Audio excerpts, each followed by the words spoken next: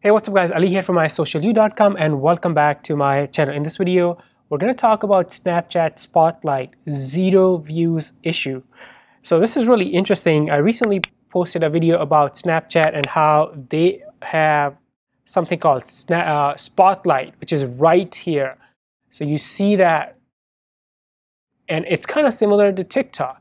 Now, some of you created this Spotlight and had fun, but I got some messages and comments that you're posting spotlights but you're not getting any views or you're getting zero views.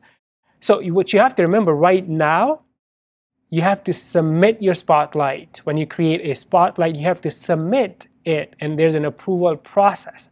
And it happened to me, for example, let's go to my account and you see right here, so my spotlight had 232 views.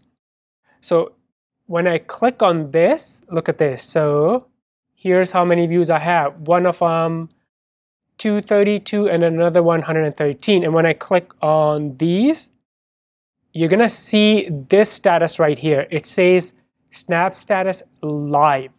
And it happened to me too. In the beginning, when I posted something and I was actually repurposing or reusing a video from TikTok, I was trying to be smart and I removed the logo and then I uploaded and I had like zero views.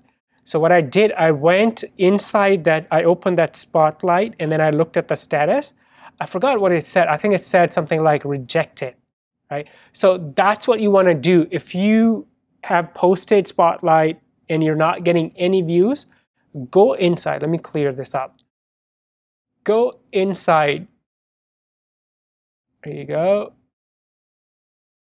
go inside your spotlight and then look at look at this thing at the bottom right here and then you'll see the status. And when you first submit the spotlight I think the first status is submitted and if it becomes live you're gonna see the live status like I do right here.